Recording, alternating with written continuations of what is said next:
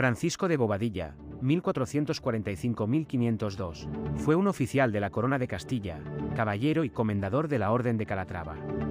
Fue enviado como juez pesquisidor a la isla de la Española en sustitución de Cristóbal Colón por su desastrosa administración y los numerosos abusos de poder.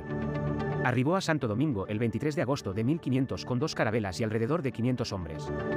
Arrestó a Cristóbal Colón y sus hermanos, Diego y Bartolomé, por abusos de autoridad y mala administración. Los hermanos Colón fueron enviados a España para exponer sus protestas ante los reyes católicos. Bobadilla recopiló gran cantidad de quejas contra Diego y Cristóbal, descubriendo que habían hecho una pésima administración, con serios abusos de autoridad. A pesar del arresto, los reyes católicos no destituyeron inmediatamente a Bobadilla, quien continuó dos años en el gobierno hasta abril de 1502 cuando llegó su sucesor Nicolás de Obando. Francisco Fernández de Bobadilla era hijo del regidor Juan Fernández de Bobadilla, corregidor de Madrid y alcaide doncel del rey Enrique IV. Aunque se sabe que nació en Aragón, se desconoce la fecha exacta y el lugar.